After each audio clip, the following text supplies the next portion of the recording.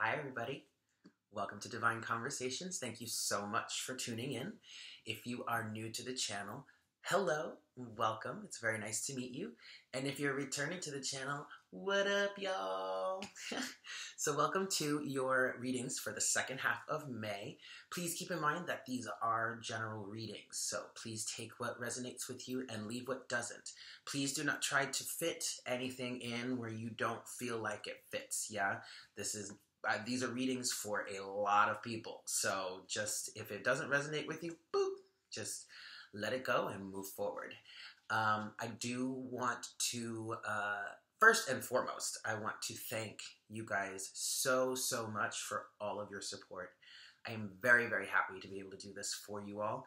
Um, and I, I honestly couldn't be more grateful for the kind words and the feedback that you have been giving me about um, how the readings are resonating with you. I am so grateful that you guys are here, and I am lovingly continuing to do this for all of us. Yeah. I also want to thank those of you who have donated to the channel. I really, truly appreciate it. I am doing this for free. Um, so, you know, any sort of energetic exchange is greatly appreciated yeah, you know, I'm extending the energy and you extend the energy back when you donate. So I thank you all so, so, so very much. Let's see. What else? I am available for private readings. You can find uh, the readings that I offer in the description box below, as well as my email address. If you would like to order a reading, just shoot me an email and let me know how you would like to proceed. Um, please make sure to take a second to read over the different options that are in the description box below.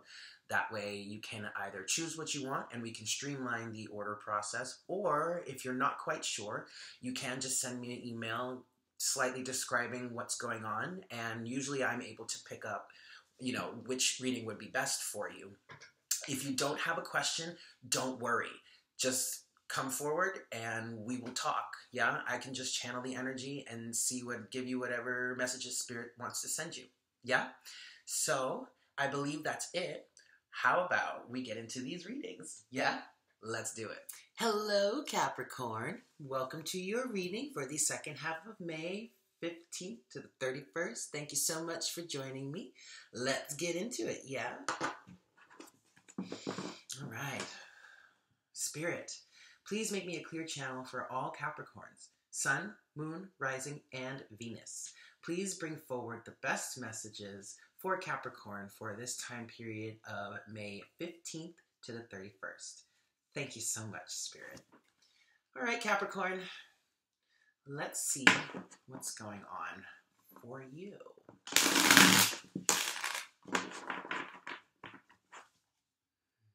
Capricorn. I'm seeing a lot of green energy right now. I mean, we are, you are, Capricorns are earth signs, so maybe that's it, but I feel like I feel like there could be a lot of healing happening for you right now, Capricorn. So that's nice. Okay, we'll give you one more shuffle. All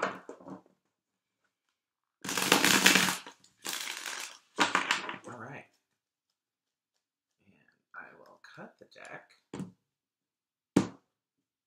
Okay, Capricorn, your overall energy we have, ooh, the Four of Wands. Now that's very nice, and it does kind of fit in with the healing energy I was feeling.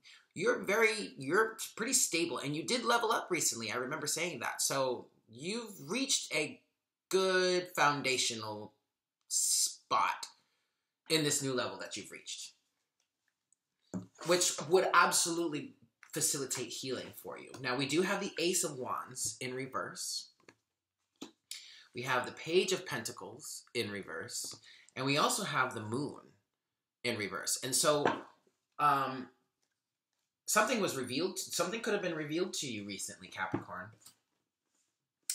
It could be about someone that was in your life, um, represented here by the Page of Pentacles.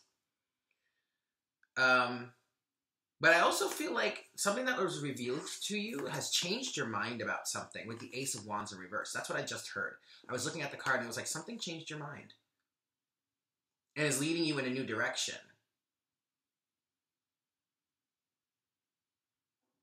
I feel like the Four of Wands is saying that you have reached a point where you are able to come out of the dark about something, and it have it could potentially have to do with yourself. Something about yourself is going to be revealed to you, and it could be about like the Page of Pentacles, um, a page of a page approach to physical reality. Yeah, and now that has that is that is kind of like blown your mind a little bit. And so the Ace of Wands is like, I'm seeing this as changing direction. It could also be a little bit blocked at the moment because you're just kind of like, oh shit, what do I do now? But I'm really not feeling like it's that bad of a thing. I'm actually feeling like it's much better than you think or expect. And that could definitely be why I'm picking up on all that green healing energy for you. We have the Six of Wands in reverse. And we have, oops, the Hermit in reverse. So, um, lack of victory, maybe putting on a brave face in the face of non-victory. Um, but this is has to do with the fact that you know there has been no introspection here. There needs to be introspection. There needed to be introspection. And whatever that could have changed your mind about something, whatever that could have been revealed to you, could help you actually embark on this self discovery that is necessary for you to be able to hold your head up high with the Six of Wands, yeah? We have the Eight of Cups in reverse with the Star in reverse. Something's been holding you back from reaching your dreams, from even healing. But it's that something that's been holding you back that you're refusing to walk away from. And the universe is saying to you, look, we're trying to guide you to where you need to go to get what you want, but you have to leave something behind first. Okay. We have the High Priestess with the Five of Cups. Okay. For some of you, um, there could have been something was illuminated, something was shown to you, come came out, it was revealed with the with the moon in reverse, um, and so now you're secretly, so now you're kind of like being secretive in how you're reacting to it um, with the high priestess, uh, but you're not really going to mourn over that much anymore. Excuse me. Um, yeah. For some of you, you are communicating with your intuition, and so that's helping soften the blow a little bit. That's helping you um, move away from this mourning, mournful energy. Yeah. The high priestess here, uh, she talks about secrets too, um, because she knows all, but she doesn't really say much. But she also speaks of intuition okay, and abundance with the pomegranate here. Um, the abundance of knowledge, really.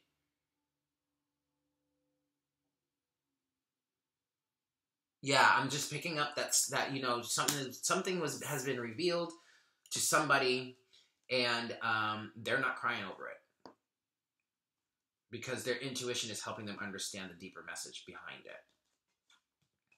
Next, we have the Two of Wands in reverse with the Page of Swords. So, um, yeah, you may be having trouble, whoever we're talking to here, you're having trouble making a decision on which path to take. It's like you don't feel like you have enough, uh, uh, I was just going to say energy. That could be it. Or you don't have enough information, is what the Page of Swords could be talking about in reverse. So that's why you're having trouble making this decision. We have the Nine of Pentacles with ah the Chariot. Excellent. So this is a message of like confidence. You know, you're an independent person. Whoever we're talking about here is very independent. Has got their shit together, or at least uh, together enough to survive and thrive to a certain extent. And so the message here is of confidence to just go for it. Just get going. Because you've got the stability to back yourself up. So why not just do it? Right? Next, we have the Six of Pentacles with the Three of Swords. So,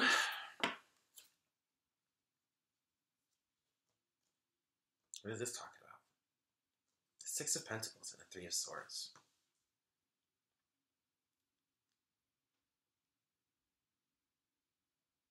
Because both of them are upright. So you could be in a period of some heartbreak. And I just heard a good amount of heartbreak too. That's entirely possible. Uh, the heartbreak obviously stems from an imbalance between give and take. I'm also hearing I'm also hearing betrayal though, backstabbing. It's almost as if now Capricorn, you can be pretty self-deprecating. So maybe, you know, what's been happening has been like you've been giving so much to everyone else and not really giving to yourself and it's betraying you. Maybe that's the the, the realization you've come to.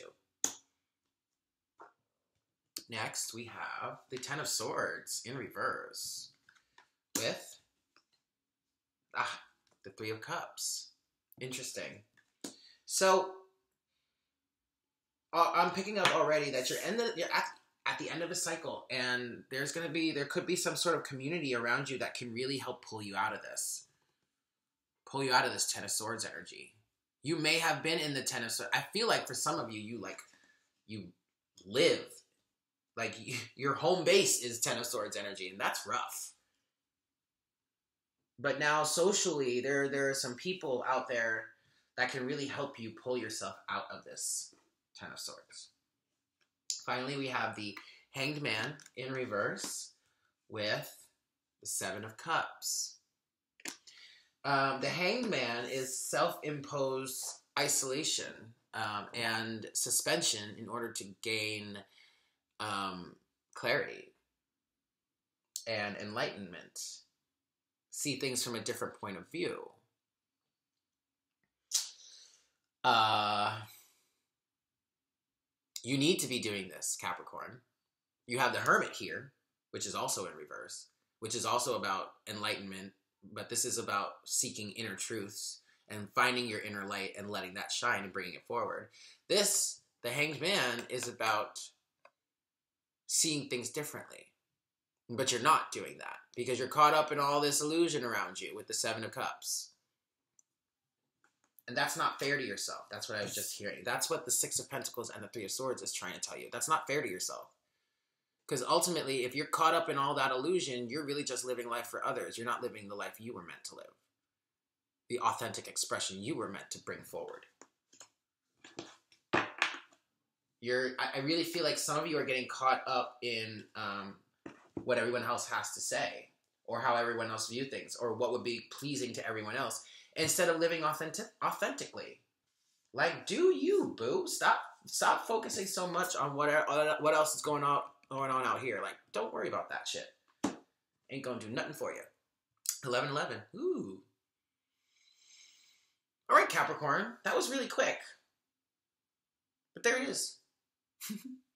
um, I hope this was helpful.